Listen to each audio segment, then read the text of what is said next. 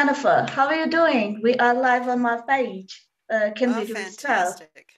Yeah, no, I'm excited to be here. I love talking about podcasting, so I can't That's wait to share little nuggets of knowledge with your audience. That's amazing. That's amazing. So, Jennifer, my viewers would be, you know, needing to know about you. A little bit introduction, if you just can, you know, share with my viewers, uh, whoever Yeah, they're watching. Yeah, absolutely. So my name is Jennifer Navarrete. I am known as at ePodcaster on Twitter, on mm. Instagram, on anywhere that you're looking for me. I'm at ePodcaster. And that comes from back in 2005. I heard about this thing called mm. podcasting and I realized that I could record something, put it up on the web, and that no one could stop me. And I was like, Sign me up, let's do this. And I launched a show with my sister called The Morning Brewcast. And it was just the two of us drinking coffee, talking about coffee. But that was the beginning of my kind of where I just took off understanding the power of the internet. Because in 2005, if you wanted to be heard, you needed to be on the radio. And if you wanted Mhm. to be seen, you needed to be on the TV. And if you wanted to be read, you needed to be in the newspaper or a Right. magazine. But with blogs, with podcasting, and with video, um, Mhm. what- back then it was called vlogging, video blogging, you could Yeah. actually go out to the world. And it was just such a great leveler and it was such a powerful moment. Right, that's amazing. So, like, you know, um, overall, you're just gonna uh, talk about podcasting. And before we just uh, discuss about it, you told me kind of levels of podcasting, if you can share those levels of podcasting with my viewers. Sure, sure. So I think of there's that there's four levels of podcasting. Level one is that you have a mobile phone and you have an app. Great. Podcast. Fantastic. Use that. And and please note that that is podcasting. If you're using a podcasting app, you can use all any number of apps. They're free. Go for it. Get it going. What I will recommend that you do is be mindful of the environment that you're recording in. So if you Mhm. can if you have a walk-in closet, go to a walk-in closet. If you have a standing closet, face the closet. If you can't do that, if you can get two pillows and put them on either side of your screen or your Mhm. laptop and put a towel underneath so that way it kind of buffers the sound waves, then your audio doesn't sound so hollow. Now, Mhm. I'm in my studio, so my room Mhm. is treated. Right. Um, and so that helps with the audio, but you can do little things like getting two pillows on either side, like getting a towel and putting it underneath where the table is, or getting rugs and kind of being in a room where there's curtains or beds or sofas, you know, a lot of things to buffer the sound. And that's true of any type of recording. So level two is where you have a USB mic, and I have a USB mic right here. So if you Mhm. have a USB mic and a computer and you want to plug it in and you want to use free software, like if you have a, a Mac, then you come, it comes with GarageBand, or you can use Audacity, which is free and is for iOS, um, PC, and Linux. So it's cross platform. And you can use that to record your podcast, or you can use a lot of the amazing online tools out there like StreamYard, like Zencastr, like CleanFeed to record your podcast. And then there's level three where you're like, I really love this podcasting thing and I am going to build a studio, which is what I have here. Build a studio. And you go through all the things and you buy all the equipment. And there's a big discussion on equipment, but that's a whole other animal. We could do an entire show just on level three. But level three is uh-huh. where you're like, I'm all in. I'm going to buy equipment. I'm going to build a studio, whether it's in your office or in your home. And you mm-hmm. go that route. Now, level four is where I see a lot of folks jumping mm-hmm. in if you're Mhm. new to podcasting they'll either do level one mobile mobile plus apps or level four. And level four is where you work with a podcast producer like myself. And you can either go in the studio or you can Mhm. work with them virtually. I will say i used to do a lot more in studio work than i do now. Now all of my podcast production is virtual because the tools are that good and i can work with clients all over the country and not have to be physically in the same location Oh, that's amazing. Just like, you know, quick uh, kind of version of uh, a lot more details. You just explained it. Just so amazing. So, so uh, let's suppose talk about some gears. Should we have kind of fancy gears or like I've also heard about dirty level mic, or we can start whatever we just have, you know, available at that moment. So please shed some light on that. Yeah, absolutely. So here's the deal. If you want a podcast, you have a mission and you have a message. Right. And nothing should stop you from getting that mission and that message out there. The equipment shouldn't stop you, nothing. And it like again, if you have a mobile phone and you can download an app, start there. It doesn't Mhm. mean that you can't change and grow because you will. As a podcaster, when you first get started, you're really trying to develop your voice, you're trying to develop your audience, you're trying to get a sense of what the show is going to be. And as opposed to waiting to get it perfect, I say start now.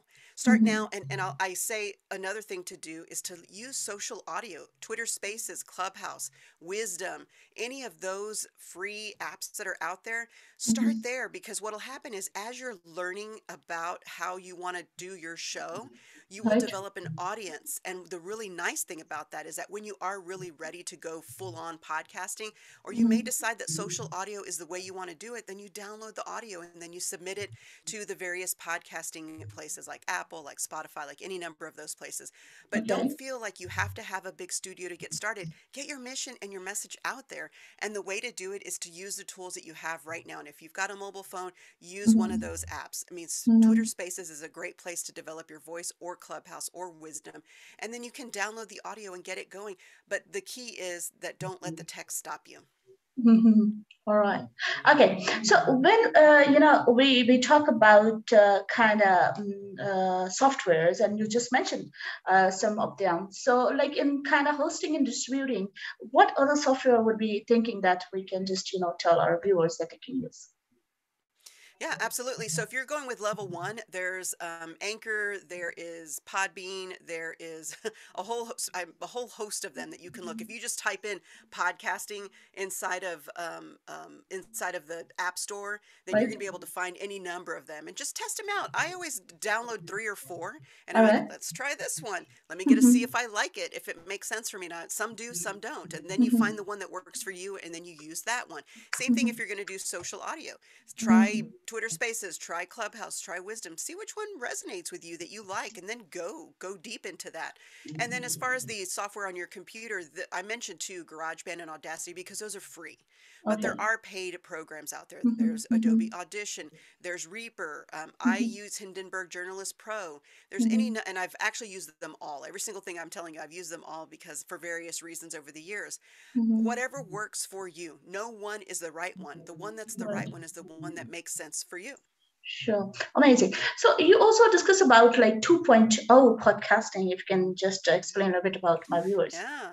Mhm. So I've been talking to you a lot about legacy podcasting, the original podcasting that started way back in the early 2000s. But when we Mhm. talk about the future of podcasting, there's something called podcasting 2.0. And if you go to the podcastindex.org, you'll be Mhm. able to learn a lot more about it. And what that does is it's really expanding the Mhm. ability for the RSS to have more functionality, such as embedding transcripts. Okay. such as putting in um, videos, such as putting in a value block. And the value block is what's most fascinating right now because the value block is the opportunity for listeners to give you good feedback sorry to give you good um to give you good um like if they want to pay you as opposed to patreon as opposed to tipping they can actually Mhm. say hey i really like this this podcast that jennifer's doing. I'm going to stream her some satoshis and satoshis are a cryptocurrency it's a fractional amount of a bitcoin and i'm going to stream her five satoshis for every minute i listen to her podcast or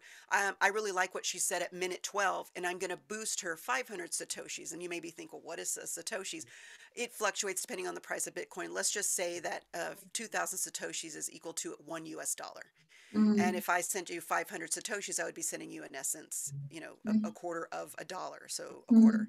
So it's not a lot, but then it has the opportunity to grow because it is cryptocurrency. But it's kind of a nice thing. But the Mhm. podcastindex.org is a really great place to learn about it. But also, if you want to look at the podcasting 2.0 app, so it's not going to be Apple, it's not going to be Spotify, it's going to be some of these new ones that are iOS, Android, and desktop. You go to pod, the newpodcastapps.com. Wow. But even Mhm. but even if you go to podcastindex.org, there's a link there for apps that will take you there, and you can look at all the new apps that allow for that new Mhm. functionality, and it's a great new frontier for podcasting. Wow, that's amazing. So we're just gonna have a look of that website as well. Then you know that's gonna be good learning for all of us. So like you know, very quick, if you can just share some advice because I've just heard like before recording, before doing your any kind of audio, or you just deliver the speech, you're not supposed to you know have yogurt and uh, some kind of other stuff uh, stuff you can just mention so that my viewers can understand that you know what we're talking about. Sure. So as a as a podcast producer, one of the things that I, I do is I send my clients the, the talent checklist. And the Mhm. talent checklist as part of it has this. the day before you should be hydrating.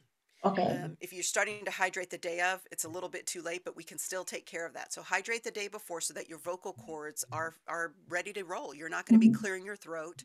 Mhm. You're not going to have, have dry throat. You're going to be ready to roll. The other thing Mhm. is no dairy on the morning of, or, or no bananas. No Mhm. dairy meaning no yogurt, no milk, n- no no cheese, nothing that has milk in it. Simply because dairy and bananas are mucus producing foods, and it'll kind of clog up your vocal cords. So if you hear someone clearing their throat a lot, it could be because they had dairy that morning. The other Mhm. thing is, let's say that you didn't have time to hydrate. Uh, one of the Mhm. drinks that you can have is a hot cup of water with some lime or lemon. All right. squeeze it in there and you can Mhm. drink that. And what that does is that does a really good job of kind of soothing your throat. Another Oh. thing that you can do is that you can, if you're, you ever hear someone who's talking and they're like, when they're talking because Yes. kind of And a, a mucus. right. And Yes. Well, so what you can do is you can eat a green apple and it'll cleanse your Mm. mouth. Right. Green apple, not red apple, not yellow apple, green apple Oh. is the only Okay. thing. Take eat- take eat a little bit of that and it'll kind of cleanse your your palate. Mhm. And that's a great way to kind of improve your vocal Mhm. for your performance. And that's really what Mhm. this is. This is a performance. Right. Okay, Jennifer, thank you so much for coming. Uh, in the next session, I'll be discussing with you. We're going to be talking about again Web three. You know, also you know more related to you know what podcasting and Web point three. So then we can discuss in the next session as well. So for today, thank you so much for coming on a short notice, and I believe that uh, this session would be insightful for my viewers also. Awesome. Well, I'm super excited to be here. I hope that folks if that will be inspired to start speaking their mission and their message. Mhm. And one more thing for my viewers, because see, we are just closing this up, wrapping this up. If they have any kind of questions, they can type uh, on the session. So then I will just refer this to Jennifer, and she would love to, you know, respond on that. Thank you so much for coming. Absolutely.